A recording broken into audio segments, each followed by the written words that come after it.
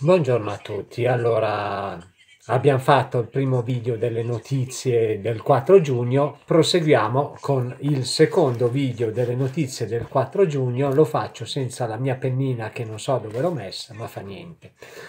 Allora, proseguiamo, dicevo, perché abbiamo questo Bayern Monaco che è interessato a Digne, l'ex giocatore della Roma che ora è al Barcellona, Leggevo su Wikipedia che non è niente male a sentire, a leggere, pure a Roma non è che sia andato tantissimo bene.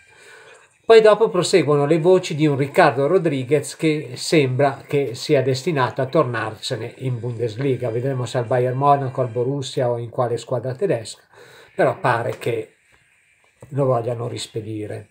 Poi abbiamo questo Udinese che nonostante Widmer non sia stato convocato dalla sua nazionale, sia pronta a cedere sia lui che Ianto al miglior offerente. Quindi ahimè dovranno fare a meno di questi due giocatori, già si sono salvati per il rotto della cuffia, quindi mi auguro che poi dopo chi è addetto agli acquisti a Udine faccia, sappia utilizzare molto bene i soldi che prenderanno e saranno parecchi per la vendita di questi due giocatori perché sennò l'Udinese l'anno prossimo la vedo non male di più.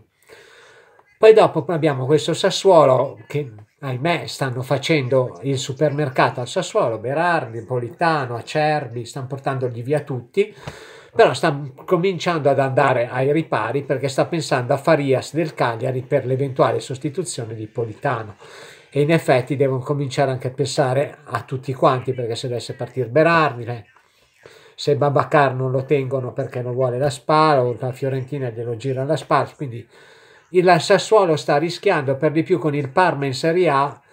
Attenzione a questo scambio di, di ruoli in cui il Sassuolo torna a giocarsi la salvezza o rischiare la B e il Parma torna a essere il Parma che conosciamo.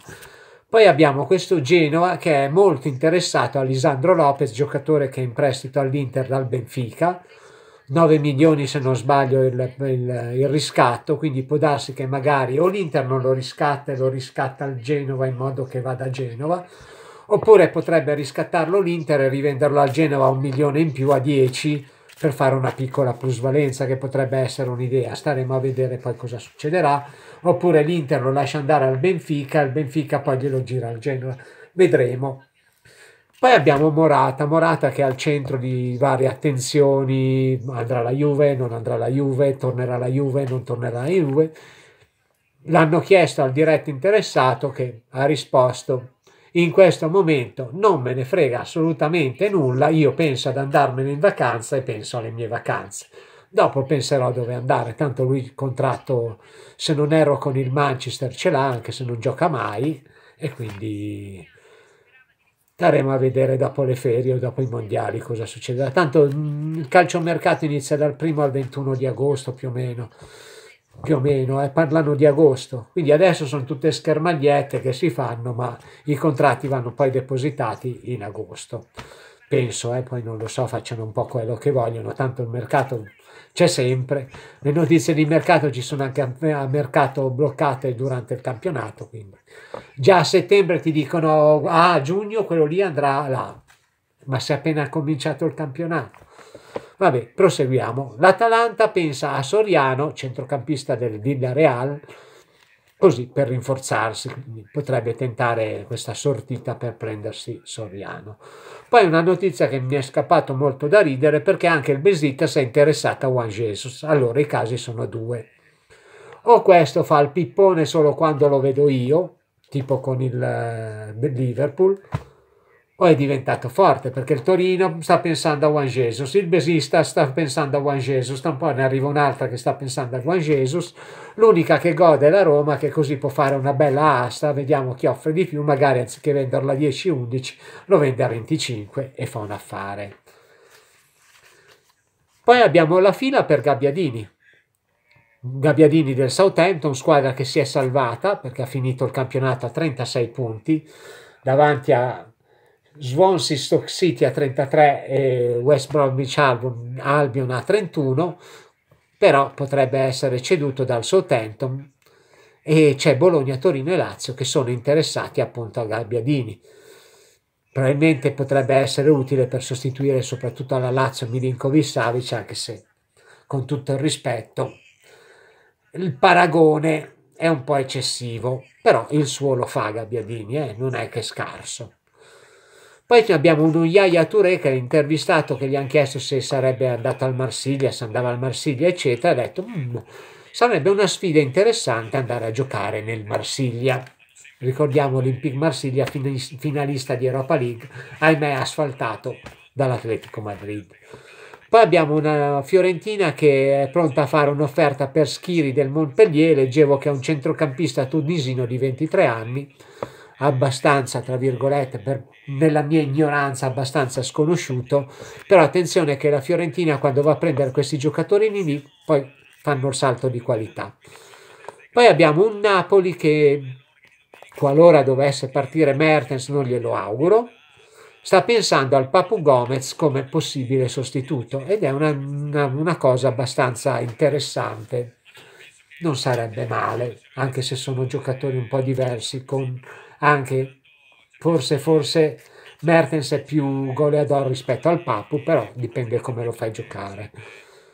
Poi dopo, secondo la stampa ma spagnola, sarebbe stato trovato l'accordo tra il Napoli e il portiere Leno, che è il portiere del Leven, Bayer Leverkusen, che è un classe 1992, ottimo portiere, quindi pare che sia stato trovato l'accordo, non capisco cosa c'entri la stampa spagnola con due squadre, una italiana e una tedesca, ma sapete che loro devono mettere il becco dappertutto.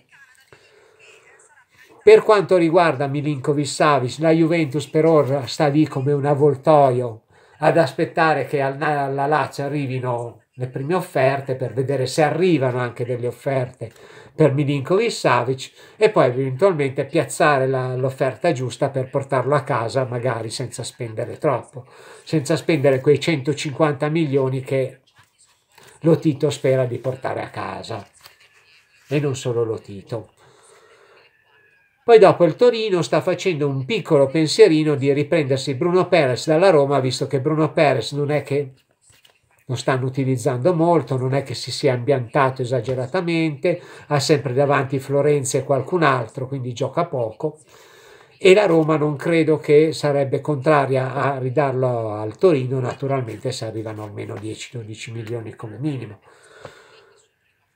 Poi dopo abbiamo una richiesta esplicita di Ancelotti a De Laurentiis di prendergli Pastore. Come ben sappiamo Pastore dovrebbe, potrebbe, dovrebbe, eccetera, eccetera, mettiamo sempre il condizionale, lasciare il PSG, il PSG Paris Saint-Germain, il PSG Eindhoven, il PSG, e quindi con una quarantina di milioni, anche meno, perché comunque Pastore già prende un botto di soldi, quindi se già gliene offrono 30 sono tantini perché comunque poi dopo devi pagargli lo stipendio.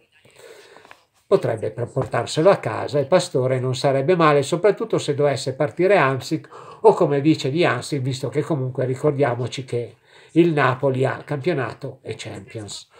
Poi abbiamo la gente di Fekir che ha detto attenzione che non è detto che vada al Liverpool Fekir è un attaccante barra centrocampista centrocampista barra attaccante dell'Olympique Lione classe 93, quindi 25 anni più o meno, anno, mese più, mese meno. Poi dopo c'è, vabbè, questa è stata la notizia che ho detto, vabbè, qua non c'è più religione, perché è vero che un Titi rinnova per il Barcellona, però mettere una clausola di 500 milioni per un difensore, a questo punto che clausola metti a un Neymar? 2 miliardi? A, a CR7 cosa fai? 2 miliardi e 2? A Messi 2 miliardi e 3? Non lo so, cioè, vabbè.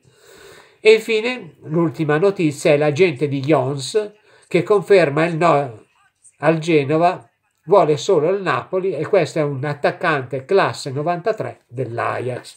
Quindi saranno contenti i tifosi napoletani, una volta tanto c'è un giocatore che è ben felice di andare al Napoli, visto che ogni tanto sembra chiuso per un calciatore, contratto fatto, tutto fatto, eccetera. Il giocatore, ah, devo andare al Napoli, no, non mi piace, non mi piace, non mi va, no, no. E poi va a giocare a, a, in Ucraina o in Russia. Vabbè, contento lui, contenti tutti. Bene, abbiamo chiuso completamente le, la tornata di notizie del 4 giugno 2018 e ci vediamo al prossimo video. Ciao!